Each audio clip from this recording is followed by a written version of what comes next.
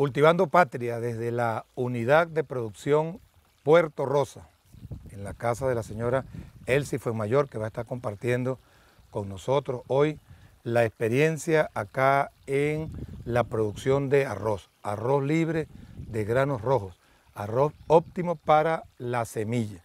Estábamos revisando acá eh, algunos contenidos de este importante libro, Alimento para Todos, de John Madeley, donde Madeley hace una reflexión sobre los esquemas tradicionales de cultivo y lo que significó la revolución verde para los productores pequeños campesinos del mundo. Más de 1.500 millones de campesinos en el mundo son los que producen el alimento en micro, en pequeña, en mediana y en gran escala. De esta manera, pues, eh, estos productores se vieron algunos, muy pocos, los que tuvieron la oportunidad de cultivar en tierras irrigadas, se vieron favorecidos con esta campaña de semillas y tal que en el programa de la Revolución Verde se llevaron adelante. Sin embargo, aquellos campesinos que estaban en zonas bajas, en zonas por inundación, en zonas sin sistema de riego, prácticamente no vieron el beneficio de este tipo de cultivo, de esta forma de cultivo. De allí que la experiencia de Madagascar es interesante revisarla y vamos a estar conversando, repito, más adelante sobre esta experiencia y, y cómo cómo allí se logró en espacios con cero irrigación, con poca irrigación, con menos consumo de semillas, con menos consumo de agroquímicos, la producción de este importante rubro del el arroz, uno de los principales cereales del mundo, del mundo. Yo quisiera que el compañero Arias Cárdenas, que ha sido un, bueno, un enamorado de la producción agrícola, nos hablase cómo ha ido, Pancho, este proceso de recuperación de esos espacios que desde el primer momento pues, que yo recibí la cartera de agricultura, tú me planteabas sobre el cultivo de arroz en el estado Zulia, no solo en La Guajira, sino también en otras locaciones de acá, de esta inmensa geografía del estado Zulia y las otras potencialidades que el Zulia tiene, además de ser el primer productor ganadero del país. Gracias, hermano, de verdad, muy contento de estar contigo, eh, Wilmar. Y bueno, y de que estés viniendo al Zulia, porque realmente si uno porcentualmente saca las venidas cada dos meses, cada ocho programas nos corresponde uno, para la proporción de lo que significamos en el país. Dios mediante, Dios mediante, con mucha alegría y, y, celebrando logros. Mira, tiene como dos contenidos. Yo, yo siento de verdad, porque uno se pone, ya con la edad se pone más reflexivo, ¿no? Y yo siento que la decisión que tomó el presidente Maduro, que en un principio seguramente los, los portugueseños pensaron nos quedamos sin un buen gobernador, eh, y yo creo que ganamos de verdad un buen ministro. Y que, podemos, y que estamos trabajando elementos como que uno traía eh, en el tintero y en el morral y que estamos sacando a la luz. Que, estamos, eh, que podemos practicar gracias a tu apoyo. Lo primero que quiero decirte es ya eh, están en Santa Elena de Guairén las 200 toneladas de semilla de pasto, que necesitábamos y que fue un apoyo directo tuyo. Esperamos Dios mediante el lunes, después de los trámites de aduana, estar comenzando a traer esas 200 toneladas que van a ser un impacto bien importante para recuperar muchos potreros que se perdieron con la sequía. Pero por otra parte, el tema del Zulia. El Zulia con un potencial de, de producción, agrícola vegetal extraordinario. Y el Zulia con una vocación que se vino desarrollando de, producción ganadera, agrícola animal, usando eh, eh, de manera extensiva los suelos. El cambio que, que hemos venido dando, y yo creo que lo han venido asumiendo por la experiencia y por las facilidades que le ha dado el propio gobierno bolivariano, muchos productores.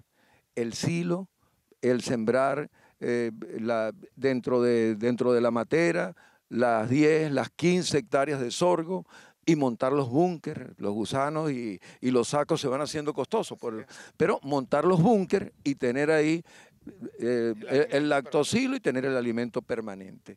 Eh, enriquecido, por supuesto, con el sorgo. Ese apoyo de verdad nosotros lo agradecemos. Y hay muchos productores que lo están practicando, que decían, yo me río de la sequía, me importa la sequía porque yo tengo 2.000 hectáreas pues, y siempre voy a tener humedad. Nos ha convencido de lo contrario. Ese cambio es para nosotros muy bueno, nos permite aprovechar más la tierra y permite ser más productivo. Pero el otro tema es las potencialidades agrícolas, que hemos venido también descubriéndolas o redescubriéndolas.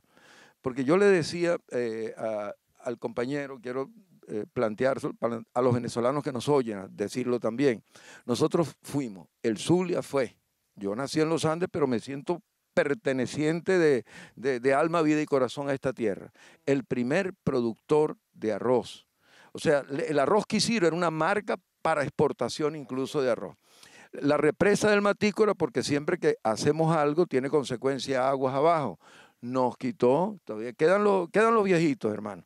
Con, eh, de, de, 40 años con semilla, que uno no sabe si todavía estará fructificará, el arroz Quisiro. ¿Qué están haciendo las comunidades de Guaruguaro? Estamos reparando la escuela. Yo creo que el próximo viaje podría ser allá porque te voy a hacer de una vez un planteamiento. Están esperando que crezca y tenga más o menos tamaño el dividivi o el cují para hacer leña, para hacer carbón. Eh, comunidades que fueron prósperas. Ahí están todavía las evidencias con los viejos galpones de Quisiro. Ahorita estamos iniciando allá eh, algunos proyectos con apoyo del privado, pero donde el Ministerio de Acuicultura, y el propio Ministerio de, Agricultura y Tierra eh, necesariamente pueden hermanarse. Es la producción del camarón de agua dulce y con el agua reciclada reiniciar en Quisiro el cultivo del arroz. esa propuesta la estamos llevando con la gente de Guaruguaro y de Quisiro. Ahí te interrumpo, Pancho, porque yo creo que Quisiro pudiera ser una extraordinaria oportunidad para que el sistema CIA, que es el sistema intensivo del cultivo de arroz, lo pudiéramos aplicar en esa zona. Esa zona eh, cualifica como zona, de, zona baja y zona con poca irrigación. O sea, que nosotros pudiéramos allí con los campesinos, campesinas, con nuestros técnicos, los, expertos en el área, empezar a trabajar como un plan piloto para que de la misma manera como está haciendo Elsie acá con otros productores y están haciendo otros productores al sur de acá del Guasare, pudiéramos nosotros ir potenciando y yo me atrevería a señalar, dejar al Zulia como el productor por excelencia de semilla de arroz para el país, que además tiene un alto valor agregado. Al, terminar aquí, vamos a ir a, la Sierra de Perijá.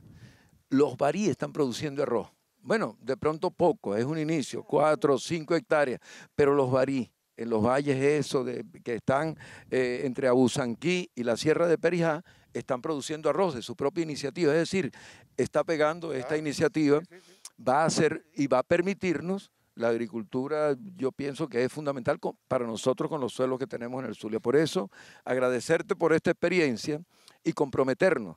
Mucha gente que nos está viendo en el Zulia está acercándose al tema de la agricultura urbana y a la agricultura eh, en los campos que también el propio alcalde de alto rendimiento. Estos valles del Guasare tienen un potencial extraordinario para la producción de frutales, como tú decías, para el tomate. Café orgánico, que vi por allí una foto que me mostró Carlito Portillo de la producción de los yucpas. Café pergamino extraordinario que está allí, pues, en la zona de de Tocuco, el Tocuco, por allí, ¿me entiendes? Entonces, bueno, vamos a dejar que él sí nos explique un poco su experiencia acá en Puerto Rosa con el arroz, doña Elsie, la guerrera de la Guajira, pues. Amén. Buenos días. Primero, ante todo, le doy las gracias a Dios por estar aquí con ustedes. Le doy las gracias a usted, ministro, a usted, gobernador. Un placer, mi alcalde. ¿Cómo está? Bueno, querido diputado. Mi querido diputado Sergio fue mayor. Bueno, nuestra experiencia fue fomentada por el legado que nos dejó nuestro padre Antonio Fuenmayor, que en paz descanse. Él fue quien inició la siembra de arroz en esta zona y ese legado nos lo pasó a nosotros. A mí personalmente y a mi hijo, el ingeniero Nelson Sánchez, que no se encuentra en este momento. Bueno, este cultivo de arroz, esta siembra de arroz, la iniciamos con el apoyo de nuestra fuerza y la del gobierno nacional, el gran apoyo que ustedes nos brindaron. El apoyo del Instituto INIA con el ingeniero Jesús Cabrera, que nos ha dado. Jesús Cabrera, por favor, pase adelante.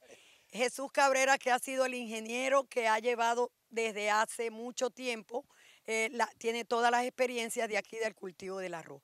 En estas tierras, el cultivo de, la, una hectárea de arroz puede producir hasta nueve 9 mil kilos. 9 toneladas.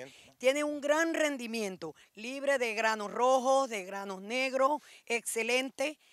desde el principio, primera vez se sembró para arroz comestible. Siempre ha sido arroz para semilla, una semilla excelente, de A1 la semilla. Tenemos, en este momento tenemos una, una extensión de 20 hectáreas sembradas. Vamos a buscar una ramita por aquí, Elsie. Yo, déjame buscar una rama de esta que está por acá. Tiene una gran... está en plena floración, ¿ves? Muy buen rendimiento. En un mes, Dios mediante, debemos de estar cosechando este arroz.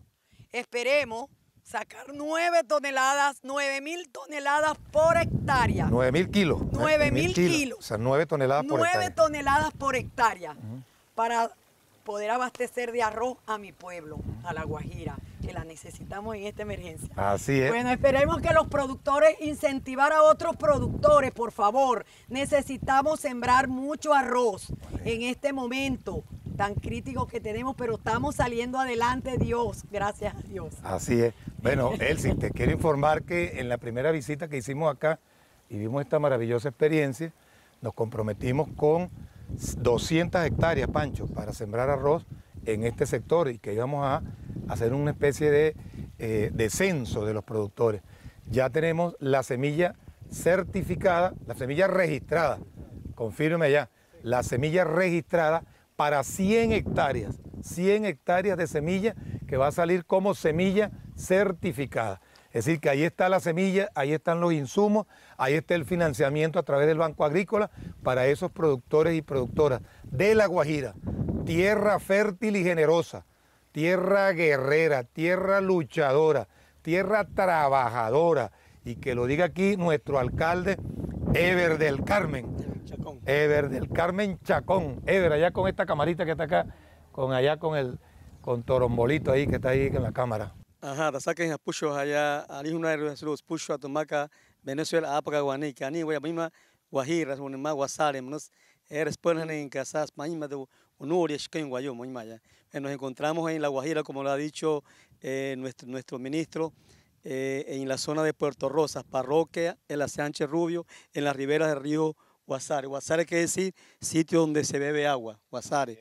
Es una tierra muy fértil. Recordemos que la Guajira es una tierra de contraste desde Castillete, que es una zona eh, xerófila, semidesértica, donde abunda el, el, pastoreo de ovino y caprino, y tenemos el Golfo de Venezuela, donde la pesca también es abundante, hasta esta zona sur con gran potencialidad por experiencia, ¿no? Aquí se han dado los mejores cultivos a nivel del Zulia, en rendimiento en tomate, en melón, patilla, pimentón, lechosa, guayaba, eh, la cría de, de ovinos, de, de caprinos y por supuesto de ganado vacuno de doble propósito, ¿no? Así que bueno, la, la, nuestro agradecimiento al gobierno bolivariano por todo su apoyo. Y para combatir la sequía, que hay una gran potencialidad para producir también pasto de primera calidad para ser suministrado a un precio solidario a, a los productores de la Guajira durante la, la larga sequía. En la zona norte tenemos también eh, molinos de viento, eh, tenemos también los sistemas de jagüeyes también, donde el gobierno bolivariano ha dado un, apoyo importante y que con este invierno que ha sido bastante generoso, la mayoría de los jagüeyes se han llenado. Por eso la Guajira está de fiesta hoy eh, con, las lluvias.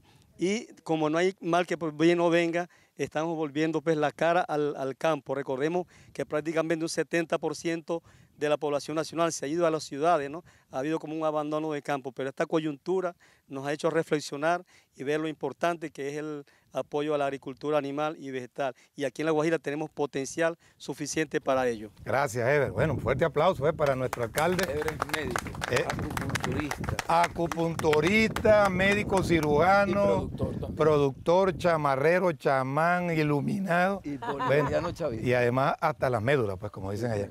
Bueno, en el próximo segmento tenemos muchas cosas más que seguir hablando, no solo del cultivo de arroz, sino de esas potencialidades, que Ever nos decía. Y aquí quiero yo destacar un elemento muy importante, que es ese estereotipo perverso que nos han querido crear de la comunidad guayú, de la comunidad guajira, de nuestras comunidades primigenias, pues, indígenas de que han sido flojos, que no son, que, que lo que hacen es puro eh, estar por allí haciendo el comercio. No, señor, no, señora. Ya lo decía ya el ingeniero Carlos Portillo. Usted se va a esa sierra acá de Perigá y toda esa falda de esa sierra está cultivada de café, de, de ají, uno, unos ajíes que vi, unos ajíes que vimos allí extraordinarios, unas lechosas espectaculares, café orgánico.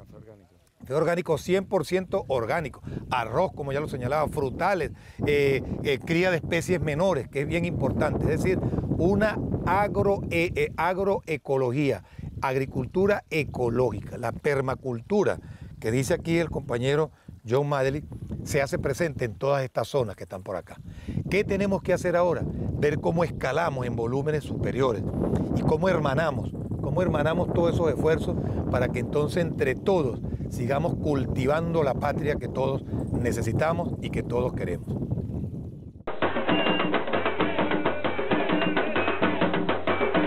El complejo agroindustrial azucarero Venezuela cierra con éxito su zafra del año 2016 para el fortalecimiento de las políticas agroalimentarias que impulsa el presidente Nicolás Maduro en fiel cumplimiento a los lineamientos que en esta materia dejó como legado nuestro comandante eterno Hugo Chávez.